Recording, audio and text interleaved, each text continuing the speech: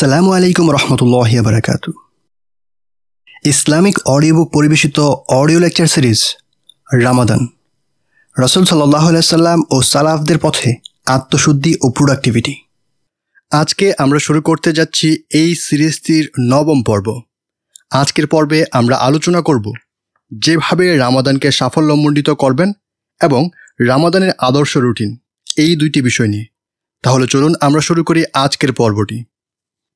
যেভাবে রামাদানকে সাফল্যমণ্ডিত করবেন। এক। নিয়ত। আবু হুরাইরা রাদিউল্লাহ আনহু থেকে বর্ণিত, রসুল সাল্লাহ আলহিহাসাল্লাম বলেন, যে রামাদানের রাতগুলো ইমান সহকারে ও পুরস্কারের আশায় সালাতের মাধ্যমে কাটাবে এবং যে কদরের রাত ইমান সহকারে ও পুরস্কারের আশায় সালাতের মাধ্যমে কাটাবে, তার পূর্বের সমস্ত গুনাহ মাফ করে দেয়া হবে। সাহি বুখারি, হাদিস দু হাজার চোদ্দ। সাহি মুসলিম হাদিস সাতশো ষাট। এটা থেকে বোঝা যায় যে কি করছি এবং কেন করছি এই দুই বিষয়ে সচেতন থাকা জরুরি। এই হাদিস থেকে এইটাই বোঝা যায় যে হৃদয় ও মন দুটোকে সজাগ রাখা জরুরি। আল্লাহ দেখতে চান তার বান্দারা পুরস্কারের আশায় উগ্রীব হয়ে কাজ করে যাচ্ছে। উদ্দেশ্যহীনভাবে শুধু শারীরিক কার্যক্রম চালিয়ে যাচ্ছে না। একটি পরীক্ষিত পরামর্শ। যদি আপনি আল্লাহর ওপর ইমান রেখে এবং তার কাছ থেকে পুরস্কার পাবার ও তার ঘনিষ্ঠতা পাবার আশা রেখে আল্লাহর জন্য কোনো কিছু আন্তরিকভাবে করতে চান, তাহলে নিশ্চিতভাবে আল্লাহ আপনার জন্য এটি সহজ করে দেবেন। এটা একেবারেই সুনিশ্চিত। তাই যদি আপনি আন্তরিকভাবে ইচ্ছা করেন এবং রামাদানের রাতগুলোতে ইবাদত করার খাস নিয়ত রাখেন, তাহলে আল্লাহ নিজে আপনার জন্যে সেই কাজকে সহজ করে দেবেন। অতএব প্রথমে আপনার অন্তরকে পরীক্ষা করে নিন। নিয়তকে নবায়ন করুন এবং জেনে রাখুন কেবলমাত্র আল্লাহই আমাদের জন্য ইবাদতকে সহজ করে দেন। যেমনটা আল্লাহ আমাদের শিখিয়ে দিয়েছেন, নিশ্চয়ই আমরা আপনারই ইবাদত করি এবং শুধু আপনার কাছে সাহায্য চাই। সোরাফা আতিহা আয়াত পাঁচ। তাহলে আশা ছেড়ে দেবার আর কোনো সুযোগ এখন থাকল না। আল্লাহর কাছে সাহায্য চান। তার কাছে চায় এমন কাউকে তিনি খালি হাতে ফিরিয়ে দেন না। তিনি আপনার জন্য দরজা খোলা রেখেছেন যাতে করে আপনি রামাদানের সেই রাতগুলোতে আপনার সর্বোচ্চটুকু দিতে পারেন। এমনভাবে ইবাদত করতে পারেন যাতে আত্মাধিকভাবে হয়ে ওঠেন আপনি পরিপূর্ণ এবং কৃতজ্ঞতার অনুভব আপনার হৃদয়কে করে তোলে টইটুম্বুর। দুই, নির্জনতা। আসন্ন রাতগুলোতে মাগরীব থেকে ফজর পর্যন্ত সমস্ত অপ্রয়োজনীয় জিনিসের সাথে সম্পর্ক ছেদ করুন। এমন জিনিস যেগুলো আপনার ইবাদতের মনোযোগ নষ্ট করে। সেগুলোর থেকে দূরত্ব বজায় রাখুন। উদাহরণস্বরূপ, আপনার ফোনে ইন্টারনেট অফ করে রাখুন। আপনার অবশ্যই সোশ্যাল মিডিয়ার আপডেট আর নোটিফিকেশনের মাধ্যমে নিজেকে বিক্ষিপ্ত করে ফেলা উচিত হবে না। এটা সোশ্যাল টাইম না, এটা আমি এবং আল্লাহর টাইম তাই সেটাই রাখুন যেটা আপনার দরকারি যেমন আপনার হয়তো পরিবার থেকে জরুরি কল আসতে পারে। সেই ক্ষেত্রে আপনি ফোন খোলা রাখতে পারেন। যদি এই রকম জরুরি কিছু না থাকে, তাহলে ফোন বন্ধ রাখুন। আর সব ক্ষেত্রেই ইন্টারনেট আর সোশ্যাল মিডিয়া থেকে দূরত্ব বজায় রাখুন। আশেপাশের লোকজনের সাথে অপ্রয়োজনীয় কথাবার্তা কিংবা আলাপচারিতায় মশগুল হবেন না। শুধু প্রয়োজনীয় কথাবার্তাই বলুন। এছাড়াও বাকি সব কথাবার্তা বাদ দিয়ে দিন। এই অভ্যাস আপনাকে সুযোগ করে দেবে ইবাদতের। দেবে শান্তি, দেবে নিজেকে নির্মল পরিষ্কার করার সুযোগ। এগুলো হচ্ছে শান্তির রাত, শান্তিময় সেই রাত, ফজরের সূচনা পর্যন্ত। সুরা কাদার, আয়াত পাঁচ। সুতরাং আপনার সর্বোচ্চটুকু দিয়ে নিজের জন্য একটি নির্জন শান্তির পরিবেশ তৈরি করে নিন। যখন আপনার নিজের জন্য আপনার কাছে বেশি সময় থাকবে, তখনই কেবল আপনি সেই সময়টাকে সবচেয়ে গুরুত্বপূর্ণ কাজ দিয়ে ভরপুর করে তুলতে পারবেন। আর এই গুরুত্বপূর্ণ কাজের কথাটি আসছে আমাদের নেক্সট পয়েন্টে তিন, কোরআনের সাথে বন্ধুত্ব। এই সময়টা হচ্ছে কোরআনের সময়। এই মাসটা হচ্ছে কোরআনের মাস। এই রাতগুলো হচ্ছে কোরআনের রাত। এ সময় যদি কোনো কিছু নিয়ে ব্যস্ত থাকতেই হয়, তো সেই জিনিসটা হচ্ছে কোরআন। নিশ্চয় আমরা এই কুরআনকে প্রেরণ করেছি লাইলাতুল কদরে, সুরা কদর, আয়াত এক। কিন্তু এখানে কয়েকটি জিনিস মনে করিয়ে দেওয়া দরকার। কোরআন আপনাকে সেটাই দেবে যেটা আপনি তার কাছ থেকে নিতে চাইবেন। যদি আপনি হৃদায়তের জন্য এটা পড়তে চান, তবে এখান থেকে আপনি হৃদায়তই পাবেন। যদি আপনি স্বস্তি, সুস্থতা আর আলো পাওয়ার জন্য এই কিতাব তিলাওয়াত করতে চান, তবে এখান থেকে আপনি আপনার স্বস্তি, সুস্থতা আর আলো পেয়ে যাবেন। যদি আপনি এটা আল্লাহর ঘনিষ্ঠতা লাভের জন্য পড়ে থাকেন, তবে নিজেকে তার আরও কাছে বলে অনুভব করবেন আপনি। যদি আপনি উদ্দেশ্যহীনভাবে পড়ে থাকেন, তবে সাওয়াব পাবেন। সাওয়াব অর্জনে সমস্যার কিছুই নেই। কিন্তু এভাবে পড়লে কোনো অর্থবহ উপলব্ধি কিংবা নিজেকে বদলে দেবার মতো অভিজ্ঞতা অর্জনের বদলে আপনি কেবল সাবটুকুই পাবেন। এখানে মূল কথা হলো কৃতজ্ঞতার সাথে কোরআনকে বিনম্র হয়ে বহন করা এবং এটা মাথায় রাখা যে এই কিতাবই হচ্ছে সমস্ত খায়ের তথা কল্যাণের মূল। আল্লাহ যেন এই কিতাবের মাধ্যমে আপনাকে হৃদায়তের পথে চালিত করেন। তিনিই হচ্ছেন শ্রেষ্ঠতম শিক্ষক দ্য বেস্ট টিচার পরম করুণাময়, যিনি শিখিয়েছেন তোমাদের কুরআন, সুরা রহমান, আয়াত দুই। ভয় নিয়ে কুরআনের কাছে যাবেন না। আল্লাহ তার নিজের জন্য নাম হিসেবে বেছে নিয়েছেন আর রহমান এবং আর রাহিম। এই দুটো নাম দিয়েই তিনি কুরআনে আমাদেরকে শিক্ষাদান শুরু করেছেন। যখন কুরআন পড়তে শুরু করবেন, তখন মনে রাখবেন যে আপনি আল্লাহর বিশেষ রহমতের নিকটবর্তী হয়েছেন। এই কিতাব হচ্ছে রহমাত, হিদায়াত আর সম্মানের এবং এগুলো তারাই অর্জন করতে পারে যারা এগুলোকে গ্রহণ করে নেয়। সাত আসমানের ওপর থেকে যেই উপহার আপনার কাছে পাঠানো হয়েছে, সেটাকে শক্ত করে আঁকড়ে ধরে রাখুন। এই উপহার আল্লাহ পাঠিয়েছেন, সেই রাতগুলোর মধ্যে থেকে একটি রাতে, যেই রাতে সাক্ষী হচ্ছে এখন আমরা। যখন আপনি আল্লাহর কিতাব নিয়ে বসবেন, বিনম্রতা আর কৃতজ্ঞতার সাথে তখন আল্লাহ আপনার জন্য এই কিতাব অনুধাবনের দুয়ার খুলে দেবেন। নিশ্চয় এতে উপদেশ রয়েছে তার জন্যে, যার আছে অন্তকরণ অথবা যে শ্রবণ করে মনোযোগের সাথে। সোরা কাফ, আয়াত সাত্রিশ কোরআন আপনার জীবনকে পাল্টে দিতে পারে। আপনার জীবনকে বদলে ফেলার এই প্রক্রিয়া আপনি রমজান থেকে শুরু করে দিতে পারেন, যা কিনা পুরো বছর জুড়ে আপনার সাথে থাকবে। সবচেয়ে গুরুত্বপূর্ণ ব্যাপার হচ্ছে এইটাই যে, আপনি যখন কোরআন পড়তে শুরু করবেন তখন আপনার থাকতে হবে সঠিক মনোভাব এবং বিশুদ্ধ ও আন্তরিক একটি অন্তর। আপনি সালাতে দাঁড়িয়ে কোরআনের আয়াত পড়তে পারেন। আপনি বসে বসে মুসহাফ দেখেও তিলাওত করতে পারেন। যেভাবেই পড়েন না কেন, অবশ্যই সেটা হবে মনোযোগের সাথে। যদি আপনি চান, সাথে অর্থ বা তাফসিরের কিতাব নিয়েও বসতে পারেন।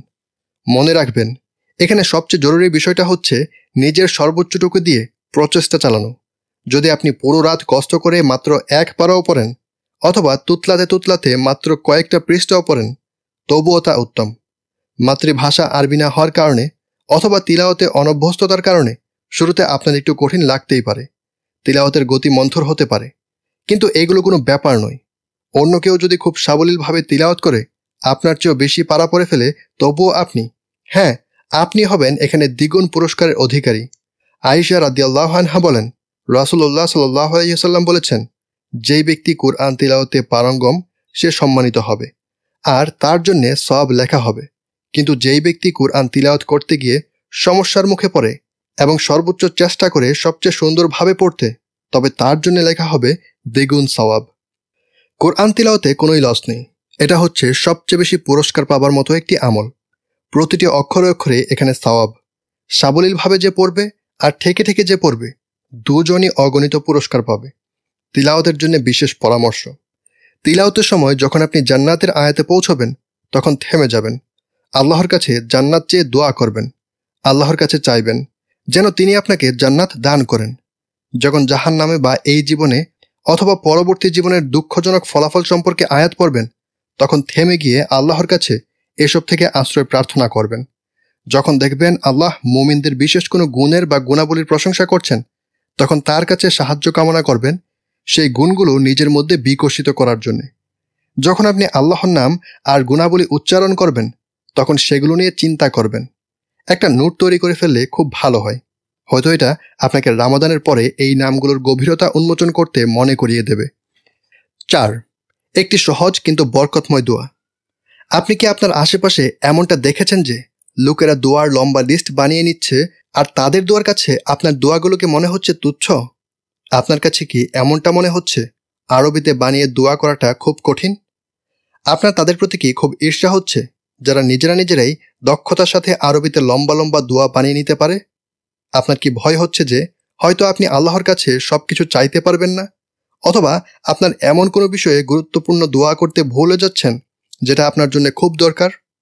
যদি উপরের সমস্যাগুলো আপনার সাথে হয়ে থাকে, তাহলে জেনে রাখুন, রাসুল সাল্লাহ আলহিহাসাল্লাম ছিলেন অসম্ভব প্রতিভাবান, অত্যন্ত দয়ালু এবং আমাদের অবস্থা সম্পর্কে গভীরভাবে অবগত। সেই মানুষটি আমাদেরকে ইতিমধ্যেই সেরা একটি দোয়া শিখিয়ে গেছেন, যেটা আমাদের জন্য বয়ে নিয়ে আসবে সর্বোত্তম কল্যাণ। এই জীবনেও, ওই জীবনেও।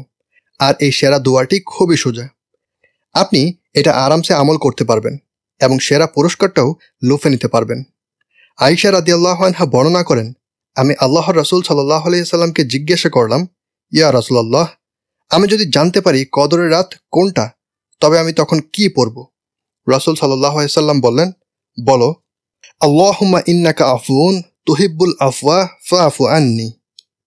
হে আল্লাহ, আপনি ক্ষমাশীল, আপনি ক্ষমা করতে ভালোবাসেন, অতএব আমাকে ক্ষমা করে দিন। এই দোয়া পাঠে অনেক অনেক বারাকাহ আছে। প্রথমত, এটা হচ্ছে একটা নির্দেশ যে আপনি আল্লাহকে ভালোবাসেন, কারণ আল্লাহ কোরআনে বলেছেন, বলুন ও মুহাম্মদ, যদি তোমরা আল্লাহকে ভালোবাসো, তাহলে আমার অনুসরণ করো। আল্লাহ তোমাদেরকে ভালোবাসবেন এবং তোমাদের পাপসমূহ ক্ষমা করে দেবেন। আর আল্লাহ অত্যন্ত ক্ষমাশীল, পরম দয়ালু। মুসনাদ আহমদ, হাদিস নং পঁচিশ হাজার তিনশো চৌরাশি এবং সুরা আলী ইমরান, আয়াত নম্বর একত্রিশ।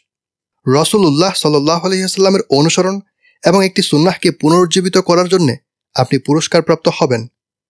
আপনি দোয়া করার সঠিক আদব অনুসরণ করবেন। অনেকেই একেবারে সরাসরি তাদের চাওয়া পাওয়া দিয়ে আল্লাহর কাছে দোয়া করতে শুরু করে। অথচ দোয়া করার সর্বোত্তম উপায় হল আল্লাহর প্রশংসা করা, নবী সাল্লাহ আলাইস্লামের প্রতি সালাত ও সালাম পেশ করা। এরপর নিজের চাহিদা আল্লাহর কাছে তুলে ধরা।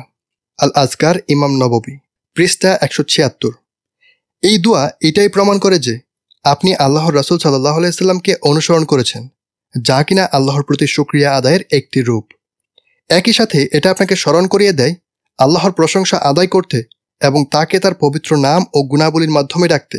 সুতরাং এটা হচ্ছে ইবাদতের একটা অসাধারণ ও সুন্দর রূপ, যেটা একসাথে অনেকগুলো বারাকা ও পুরস্কারকে একত্রিত করে, শুধুমাত্র কিছু সুন্দর শব্দের মাধ্যমে। ক্ষমা করার অসাধারণ একটি তাৎপর্য আছে, যেটার ব্যাপারে বেশিরভাগ মানুষই জানে না। যদি আল্লাহ আমাদেরকে ক্ষমা করে দেন, তাহলে আমাদেরকে আর নিজেদের গুনাহের অপরাধবোধে ভুগতে হবে না, আফসোস নিয়ে ঘুরতে হবে না, আল্লাহর কাছে গ্রহণীয় না হবার দুঃখ বয়ে নিয়ে বেড়াতে হবে না। যদি আল্লাহ আমাদেরকে মাফ করে দেন, তাহলে তিনি আমাদের খারাপ কাজগুলো মুছে দেবেন এবং সেগুলোকে ভালো কাজ দিয়ে পাল্টে দেবেন। যদি আমাদের রব আমাদেরকে মাফ করে দেন, তাহলে তিনি আমাদের জন্য দুনিয়ার জীবনে সেরা রাস্তাটা অনুসরণ করা সহজ করে দেন এবং আখিরাতের সেরা ফলাফল পাবার কাজটাও সহজ করে দেন। যদি আল্লাহ আমাদের ক্ষমা করে দেন তাহলে আমরা তাদের একজনের হতে পারি, যারা আল্লাহর খুব কাছের, খুব প্রিয় কিছু বান্দা। যদি আমাদের মালিক আমাদের অনুগ্রহ করে ক্ষমা করে দেন, তাহলে তিনি আমাদেরকে বারাকাহ দিয়ে ভরিয়ে দেন। সেটা হোক দুনিয়ার জীবনে অথবা আখিরাতের জীবনে। তাই আপনি যদি না জানেন কি করতে হবে অথবা কি বলা আপনার উচিত, তবে এই দোয়াটা করতে থাকুন। এমনকি আপনি যদি পুরো রাত শুধু এই দোয়াটা পরেই কাটিয়ে দেন এটার বিশাল অর্থের কথা মাথায় রেখে তাহলে আপনার জন্য আফসোসের কোনোই কারণ নেই। আপনি যদি অন্য কোনো দোয়া করতে চান, তাহলে সেটা তো খুবই চমৎকার। তবে কখনোই এই দোয়াটার ক্ষমতাকে কম করে দেখবেন না। বিশেষ করে যখন এটা আমাদেরকে শেখানো হয়েছে, আমাদের জন্য কাজকে সহজ করে দিতে এবং এইটা থেকে আমাদেরকে সেরা ফলাফলটা দান করতে। পাঁচ, রামাদানের সালাত। মনে করুন, আপনি ইতিকাফ বা মসজিদে রাতের সালাত আদায়ে অক্ষম হয়ে পড়লেন। অথচ বাকি সবাই সেটা করছে। এবং আপনারও এরকমটাই করার ইচ্ছে ছিল। তখন কি করবেন? কি করবেন আপনি? জবাবটা হলো, সেটাই করুন যেটা আপনার সাধ্যের মধ্যে কোলাই। নিজের সীমার মধ্যে সর্বোচ্চটুকু করতে সচেষ্ট হন। আবদুল্লাহ ইবনু আমর ইবনু আস রদিউল্লাহানহ বলেন রসুল্লাহ সাল্লাহ সাল্লাম বলেছেন, যদি কোনো ব্যক্তি রাতের বেলা সালাতে দশ আয়াত তিলাওয়াত করে, তাকে গাফিলদের মধ্যে অন্তর্ভুক্ত করা হবে না। যদি কেউ রাতের বেলা সালাতে একশো আয়াত তিলাওয়াত করে তবে তাকে আল্লাহর আনুগত্যদের অন্তর্ভুক্ত করে গণ্য করা হবে। আর যদি কোনো ব্যক্তি রাতের সালাতে এক হাজার আয়াত তিলাওয়াত করে, তাহলে সেই ব্যক্তিকে বিশাল পুরস্কার প্রাপ্তদের মধ্যে অন্তর্ভুক্ত করে নেওয়া হবে। আবু দাউদ, হাদিস এক হাজার তিনশো আটানব্বই। কেয়ামরত হন, আপনার পক্ষে যতটুকু সম্ভব ততটুকুই করুন।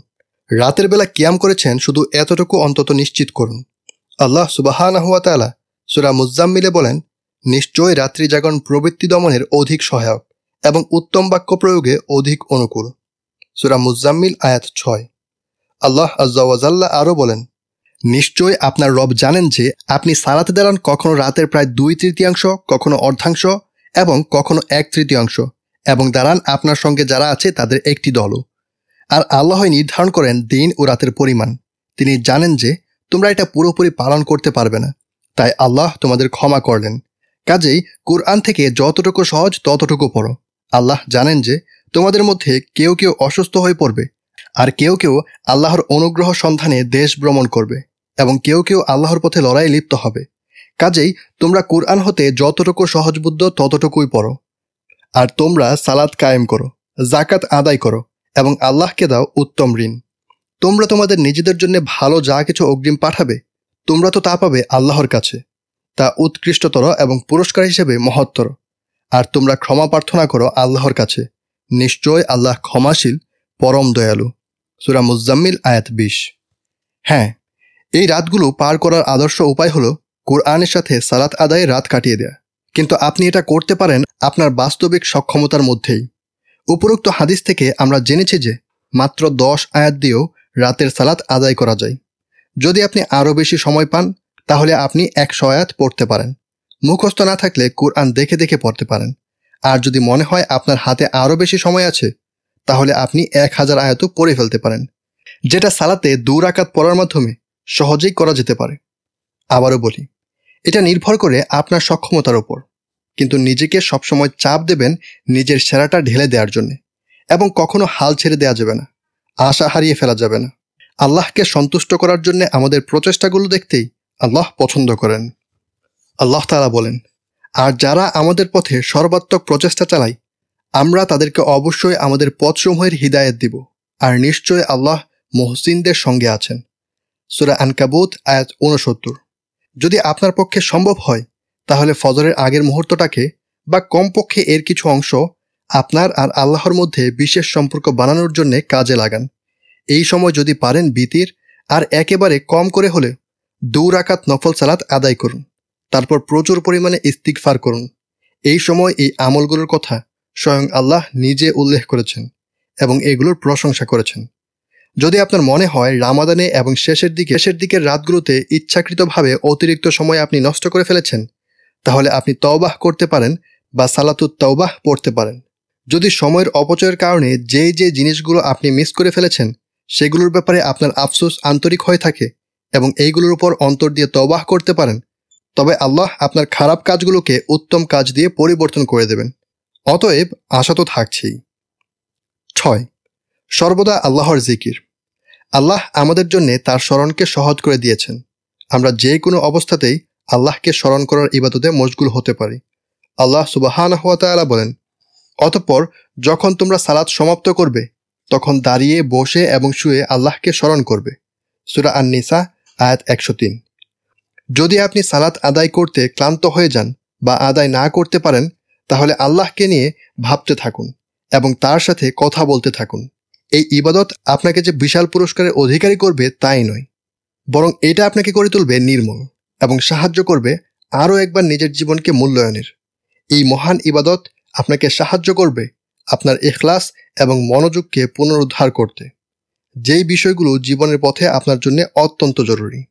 আল্লাহ তালা বলেন, নিশ্চয় আসমানসমূহ ও জমিনের সৃষ্টিতে রাত ও দিনের পরিবর্তনে নিদর্শনাবলী রয়েছে ভূতশক্তি সম্পূর্ণ লোকের জন্যে, যারা দাঁড়িয়ে, বসে ও শুয়ে আল্লাহর স্মরণ করে এবং আসমানসমূহ ও জমিনের সৃষ্টি সম্বন্ধে চিন্তা করে আর বলে, হে আমাদের রব, আপনি এগুলো অনর্থক সৃষ্টি করেননি। আপনি অত্যন্ত পবিত্র। অতএব আপনি আমাদেরকে আগুনের শাস্তি হতে রক্ষা করুন। হে আমাদের রব, আপনি কাউকেও আগুনে নিক্ষেপ করলে, তাকে তো আপনি নিশ্চয়ই হ্যায় করলেন এবং জালিমদের কোনো সাহায্যকারী নেই। হে আমাদের রব, আমরা এক আহ্বায়ককে ইমানের দিকে আহ্বান করতে শুনেছি। তোমরা তোমাদের রবের উপর ইমান আনো, কাজেই আমরা ইমান এনেছি। হে আমাদের রব, আপনি আমাদের পাপরাশি ক্ষমা করুন, আমাদের মন্দ কাজগুলো দূরীভূত করুন এবং আমাদেরকে সৎকর্মপরায়ণদের সহগামী করে মৃত্যু দিন। হে আমাদের রব, আপনার রাসুলগণের মাধ্যমে আমাদেরকে যা দিতে প্রতিশ্রুতি দিয়েছেন তা আমাদেরকে দান করুন, এবং কেয়ামতের দিন আমাদেরকে হেওয়া করবেন না। নিশ্চয় আপনি প্রতিশ্রুতির ব্যতিক্রম করেন না। সুরা আলী ইমরান এত একশো নব্বই থেকে একশো চুরানব্বই। আল্লাহকে স্মরণ করা এত সহজ আর আরামদায়ক একটা ইবাদত হওয়া সত্ত্বেও এর পুরস্কার অনেক অনেক বড়। উদাহরণ হিসেবে বলা যায়, আবু মালিক আল আশআরি রাজি আল্লাহানহু বর্ণনা করেছেন আল্লাহ রসুল সাল্লাহ সাল্লাম বলেন, পবিত্রতা হচ্ছে ইমানের অর্ধেক। আলহামদুলিল্লাহ পাল্লাকে পরিপূর্ণ করে দেয়। আর সুবাহান আল্লাহ এবং আলহামদুলিল্লাহ মিলে আসমান ও জমিনের মধ্যে যা কিছু আছে, তার সব কিছুকে পরিপূর্ণ করে দেয়। মোস্তদ আহমদ, হাদিস নং বাইশ হাজার নয়শো নয়। অতএব স্রেফ আলহামদুলিল্লাহ বললেই পাল্লা পরিপূর্ণ হয়ে যায়। চিন্তা করুন, আপনি বারবার আলহামদুলিল্লাহ বলছেন এবং পুরো রাত আপনার দাড়িপাল্লা পরিপূর্ণ হয়ে যাচ্ছে। অথবা বলছেন সুবাহান আল্লাহি হামদিহি অথবা বলছেন সুবাহান আল্লাহ ওয়ালহামদুলিল্লাহ, এবং আপনার আসমান এবং জমিনের মধ্যবর্তী সব পরিপূর্ণ হয়ে যাচ্ছে আপনার উত্তম আমলে। তাই চুপ করে বসে থেকে নিজের সময় নষ্ট করবেন না। আল্লাহর স্মরণে লেগে থাকুন এবং তার সাথে কথা বলুন। তার প্রশংসা করুন, তার কাছে ক্ষমা প্রার্থনা করতে থাকুন, আর পরিশুদ্ধ করে তুলুন আপনার অন্তরকে। আর পেতে থাকুন অগণত পুরস্কার এই অনায়াস কিন্তু পরিশুদ্ধকারী আমলের বদলা হিসেবে। সাত, জাকাতের দ্বারা সম্পদের পরিশোধন। জাকাত আর তাজকিয়া শব্দ দুটো একই অক্ষর দিয়ে তৈরি। দান করা হচ্ছে পবিত্রতা অর্জনের একটি উপায়। আল্লাহ তালা বলেন, যে আত্মশুদ্ধির জন্যে তার ধন সম্পদ দান করে এবং তার প্রতি কারও কোনো অনুগ্রহের প্রতিদানে নয়, শুধু তার মহান রবের সন্তুষ্টি প্রত্যাশায়, আর অচিরেই সে সন্তুষ্ট হবে। সুরালাইল আয়াত আঠারো থেকে একুশ। তাই এই নিয়ত নিয়ে বেশি থেকে বেশি দান করতে চেষ্টা করুন। এমন অনেক বিশ্বস্ত কারণ আছে, যেগুলোর জন্য আপনি দান করতে পারেন। এমনকি অনলাইনেও সেটা করা সম্ভব। কিন্তু দুই নং পয়েন্ট মাথায় রাখুন, দরকারি কিছু ছাড়া অনলাইনে সময় একেবারেই নষ্ট করা যাবে না। এমনও হতে পারে যে আপনি কোনো ইয়াতিমকে খাওয়ালেন অথবা এমন কাউকে খাওয়ালেন যে গরিব, অভাবী বা সিয়াম পালনকারী। দান করার পথের কোনো অভাব নেই এবং এই কাজের পুরস্কার আপনার আত্মাধিক ও শারীরিক স্বাস্থ্যের সাথে সরাসরি সম্পর্কিত। এছাড়াও রামাদান শেষ হবার আগে এবং অবশ্যই ঈদের সালাতের আগে জাকাতুল ফিতরাহ আদায় করতে ভুল করবেন না। এই সব কিছুই সহজে সামলে নেওয়া যায়, কঠিন কোনো কিছু না। ইনশা আল্লাহ এই কথাগুলো আপনি আপনার সক্ষমতার মধ্যে থেকে করে ফেলতে পারেন যদি আপনি আন্তরিক ও আশাবাদী হন। তো, যেই কাজগুলো করতে হবে সেগুলো আবারও একবার দেখে ফেলা যাক। এক, পুরস্কার পাবার ব্যাপারে ইমান ও আশা রাখতে হবে। দুই, সমস্ত ঝামেলা বিদায় করে দিতে হবে এবং মাগরিব আর ফজরের মাঝখানে সময়টাকে আমার এবং আল্লাহর সময় বানানোর লক্ষ্য নিতে হবে। তিন, মনোযোগ ও উন্মুক্ত অন্তর নিয়ে কুরআনের সাথে যুক্ত হতে হবে। চার, এই রাতগুলোর জন্য সেরা এবং সবচেয়ে সহজ দোয়াগুলো তৈরিতে সবচেয়ে বেশি চেষ্টা করুন। পাঁচ সাতদের মধ্যে রাতের সালাত আদায় করুন। ছয়, আল্লাহকে স্মরণ করুন দাঁড়িয়ে বসে শুয়ে। সাত, পবিত্রতার নিয়তে জাকাত ও সাদাকা দান করুন।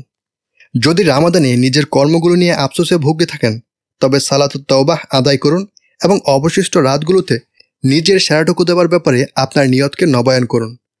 এমনকি যদি শুধুমাত্র একটি রাত অবশিষ্ট থাকে, তবুও এটা করুন। হতে পারে সেটাই লাইলাতুল কদর। আর আল্লাহ আপনাকে দান করে দিতে পারেন অফুরন্ত পুরস্কার এবং দুনিয়া ও আখিরাতের জীবনের জন্য খুলে দিতে পারেন শ্রেষ্ঠতম সব দরজা। তাই এগিয়ে যান আশাকে সঙ্গী করে। আট সকালবেলার বরকত হাসিল করুন। দিনের এই সময়ে আপনার দেহে সবচেয়ে বেশি শক্তি থাকবে। ভেবে দেখুন, দিনের বেলা করার মতো সবচেয়ে গুরুত্বপূর্ণ আপনার কাছে কোনটা? হতে পারে একটা ইমেল লেখা, স্কুলের কাজ করা, কোরআন তিলাওয়াত করা, এবং আরও অনেক কিছুই।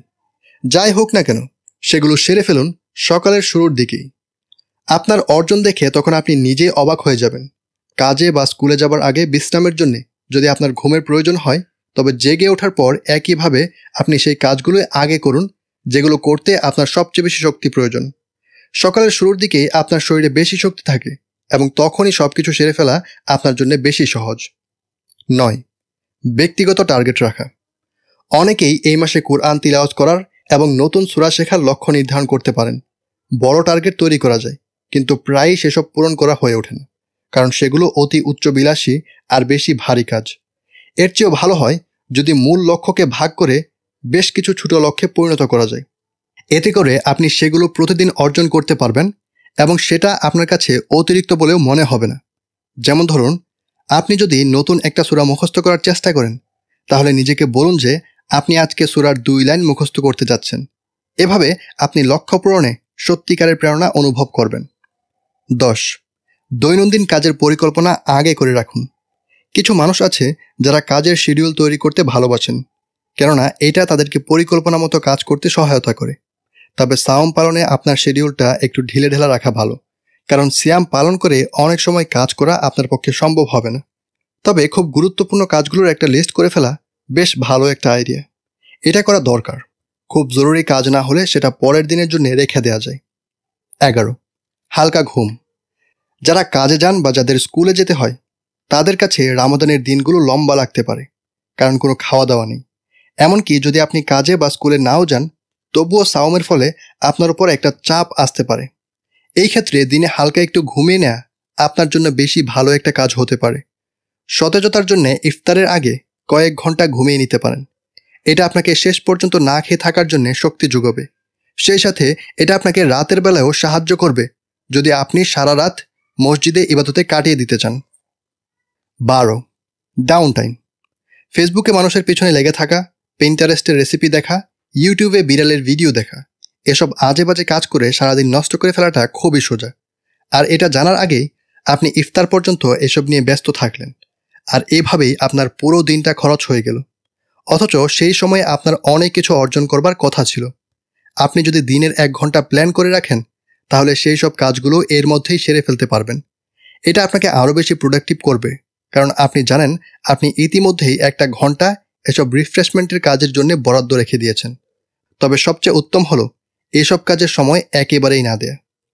তেরো, স্বাস্থ্যকর খাদ্যাভ্যাস। আমাদের শরীরের উপর আমরা যে খাবার খাই, সেটার বিরাট একটা প্রভাব আছে। আমরা যখন নিজেদেরকে ভাজা পোড়া আর আর তৈলাক্ত খাবারে ঠেসে ফেলি, তখন যদি পুরো দিন এবং সেই সাথে রাতেও নিজেদেরকে অবসন্ন আর অলস মনে হয়, তাহলে তাতে অবাক হওয়ার কিছুই নেই। সাহারি আর ইফতারে এমন খাবার খান যা আপনাকে পুষ্টি ও শক্তি যোগাবে। সাহারির জন্য চিনিতে ভরা সিরিয়াল না খেয়ে বরং এক বাটি ওটমিল খান। সাথে রাখুন প্রচুর ফলমূল আর এক গ্লাস দুধ। ইফতারের জন্য ভারী খাবার দাবার না রেখে হালকা খাবার রাখুন আর আস্তে ধীরে খান। দেখবেন খুব জলদি আপনার পেট ভরা হয়ে গেছে যদি এরপরও ক্ষুধা লাগে, তাহলে রাতে সালাত আদায়ের পরে সে খেতে পারেন। রামাদানের আদর্শ রুটিন। রামাদানে আমাদের আগের রুটিন এলোমেলো হয়ে যায়। তাই আগে ভাগে রামাদানের পরিবর্তিত শিডিউল অনুযায়ী নতুন রুটিন করে রাখলে রামাদান মাসকে আরও প্রোডাক্টিভভাবে আমল করে কাটানো সম্ভব হবে। আমাদের সবার জীবনযাত্রা ও দায়িত্বগুলো একই রকম নয়। আর তাই সবার রুটিন এক হবে না, এটাই স্বাভাবিক। তবু এখানে একটি খসড়া রুটিন সাজিয়ে দেওয়া হলো, যা আপনাকে প্রাথমিক ধারণা দেবে যে কোন কাজগুলোকে আপনার বানানো ব্যক্তিগত রুটিনে প্রাধান্য দেওয়া উচিত আর কোন কাজগুলোকে কম গুরুত্ব দেওয়া উচিত? এক, সাহারির জন্য উঠুন। যদি এই সময় খেতে আপনার ভালো না লাগে, তাও উঠে পড়ুন। অল্প কিছু হলেও খেয়ে নিন বা পান করুন, যাতে প্রতি রাতে সাহারির সুন্নাহ পালন করার প্রতিদান আপনি পেয়ে যান। কেননা সাহারির মধ্যে আছে বারাকাহ। সাহিহুল বুখারি, হাদিস উনিশশো তেইশ। দুই, এই সময় চেষ্টা করুন দু রাকাত নফল সালাত আদায় করার, যাতে রাতের শ্রেষ্ঠ অংশে তিন ভাগের শেষ ভাগে আপনি সালাত আদায় আর দুয়া করার সব অর্জন করতে পারেন। নিজের গুনাহের দিকে লক্ষ্য রেখে এই সময়টাকে ব্যবহার করুন এবং এরপর ইস্তিকফার করতে থাকুন। যারা রাতের এই সময়টায় ইবাদতরত থাকে, আল্লাহ স্বয়ং তাদের প্রশংসা করেন। সুরা আলে ইমরান, আয়াত সতেরো। তিন। প্রিয় ভাই, নিশ্চিত করে নিন যে কমপক্ষে ফজর আর ঈশার সালাত আপনি মসজিদে জামাতের সাথে আদায় করেছেন। বেশিরভাগ মানুষেরই কাজের সময়ের সাথে এই দুই ওয়াক্তের কোনো ঠোকাঠুকি যেহেতু লাগে না, অতএব এই দুই ওয়াক্ত জামাতে আদায় করা সহজ। যদি এটা আপনি করতে পারেন, তাহলে আপনার পুরো রাত সালাতে দাঁড়িয়ে থাকার সব আদায় করা হবে। মুসলিম হাদিস নাম্বার হাদিস নাম্বার ছয়শো ছাপ্পান্ন। চার, নিশ্চিত করুন, যাতে ফজরের সালাতের পর, সকালের জিকির আর আসরের সালাতের পর বিকেলের জিকির মিস না হয়। পাঁচ, যেদিন কোনো কাজের তাড়া নেই, সেদিন চেষ্টা করুন ফজরের সালাতের পর সূর্য না ওঠা পর্যন্ত মসজিদে বসে থাকার এবং তিলাওয়াত ও জিকিরে মশগুল থাকার। সূর্য ওঠার পনেরো বা আরও কিছু পর আদায় করে নিন সালাতুদ দোহা। চাইলে সূর্য মাঝ আকাশে ওঠার দশ মিনিট আগেও এই সালাদটা আদায় করে নিতে পারেন। যেই ব্যক্তি এই সালাত আদায় করবে, তাকে একটি পরিপূর্ণ হাজ ও উমরাহের সাওয়াব দেওয়া হবে। ইনশা আল্লাহ জামে তিরমিজি, হাদিস নাম্বার পাঁচশো ছিয়াশি। ছয়। প্রতিদিন কাজে বেরোনোর আগে নিয়ত করুন যে সময়গুলো আপনি কাজে লাগাবেন আল্লাহর রাস্তায় ব্যয় করার জন্যে হালাল সম্পদ উপার্জনে। যাতে করে দিনের প্রত্যেকটি মিনিটের জন্য আল্লাহ আপনাকে সওয়াব লিখে দেন। পাঁচটা থেকে নয়টা চাকরিতে এই বিষয়টা নিশ্চিত করে নিন যে, এই সময়ের ভেতরে আপনার মুখ আল্লাহর জিকির থেকে সামান্য সময়ের জন্য বিরতি পাবে। এটাও নিশ্চিত করুন যে, সব ধরনের গুনাহ থেকে নিজেকে বাঁচিয়ে রাখার মাধ্যমে আপনার সাথে সাথে আপনার অঙ্গ প্রত্যঙ্গগুলোও সিয়াম পালনরত অবস্থায় আছে। সাত ঘরে ফিরে এসে একটু বিশ্রাম নেবার পর একটা ঘণ্টা আল্লাহর কালাম তিলাওত বা এর অর্থ নিয়ে পড়াশোনায় উৎসর্গ করুন। আট। ইফতারের আগের আধা ঘণ্টা কাটান একনিষ্ঠ দোয়ার মধ্যে, কেননা পুরো রামাদানেই রোজাদারের দোয়া কবুল করা হয়ে থাকে। মুস্তদ আহমদ, হাদিস নাম্বার সাত হাজার চারশো পঞ্চাশ। নয়। মাগরিবের পর খাবার দাবার সেরে ঈশার আগ পর্যন্ত সময়টুকু শক্তভাবে কুরআন তিলাওতে অতিবাহিত করুন। দশ। একদিনও যাতে তারাবিয়ের সালাত মিস না হয়, সেটা নিশ্চিত করুন। সেই মসজিদটাকেই বেছে নেন, যেখানকার তিলাওয়াত আপনার অন্তরকে সবচেয়ে বেশি স্পর্শ করে। এগারো। প্রতিদিন সাদাকাহ করুন। এই জন্য আপনার জন্য সহজ এমন একটি পরিমাণ ঠিক করে নিন। যদি কয়েকদিন ভুলে যাবার কথা ভেবে উদ্বিগ্ন হন, তাহলে একটা দৈনিক খরচের পরিমাণ ঠিক করে নিন। বারো। প্রতি সপ্তাহ কমপক্ষে একটা ইলমি হালাকায় অংশগ্রহণের টার্গেট নির্ধারণ করে নিন, কেননা এইসব মসজিষে ফেরেস্তাগণ আগমন করেন। এবং এই মসজিদগুলোতে আল্লাহর রহমত চারপাশ থেকে ঘিরে থাকে। তেরো, প্রতিদিন একজন আত্মীয়কে দাওয়াত দেয়া এবং তার বাসায় যাওয়ার টার্গেট করুন। কেননা আত্মীয়তার বন্ধন রক্ষা করা মানুষের হায়াতকে বাড়িয়ে দেয়, সম্পদ বৃদ্ধি করে এবং জীবনের মন্দ সমাপ্তি থেকে তাকে রক্ষা করে। মোসনদ আহমদ, হাদিস নাম্বার বারোশো তেরো। আলহামদুলিল্লাহ, এরই মাধ্যমে শেষ হচ্ছে রামাদান। রাসুল সাল্লাহ সাল্লাম ও সালাফদের পথে আত্মশুদ্ধি ও প্রোডাক্টিভিটি এই সিরিজটির নবম পর্ব ধন্যবাদ জোজাকাল্লাহ খাইরান আপনি যদি পরবর্তী ভিডিও নোটিফিকেশন পেতে চান তাহলে চ্যানেলটি সাবস্ক্রাইব করুন এবং বেল বাটনটি চেপে রাখুন يا ربي يا ربي إني أسألك العافية